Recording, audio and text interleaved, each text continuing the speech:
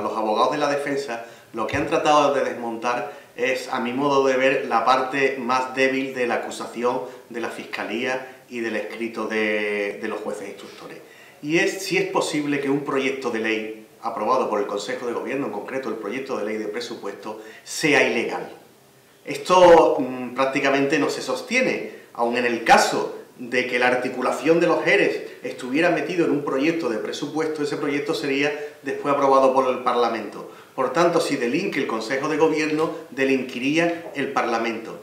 Esta, esta, esta cuestión, esta pregunta que debe resolver los magistrados del tribunal afecta eh, en especial al, al expresidente Manuel Chávez y a los consejeros Gaspar Zarría y Magdalena Álvarez. Y es, a mi modo de ver, uno de los asuntos principales sobre lo que va a pivotar las sesiones de estos días.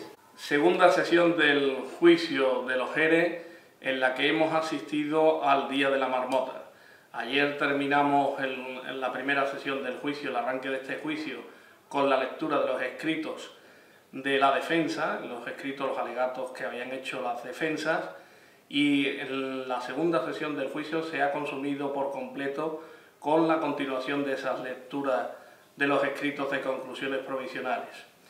Las defensas han logrado de esta forma darle la vuelta al juicio y han anticipado eh, sus informes de conclusiones, los que se desarrollarán una vez que acabe el juicio dentro de, mucho, de muchos meses. Hay quien dice que el juicio durará hasta nueve meses.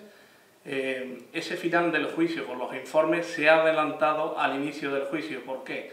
Porque las defensas han recordado, han utilizado la posibilidad de leer sus escritos para recordar a la opinión pública cuáles son los argumentos por los que consideran que los 22 exaltos cargos deben ser asueltos.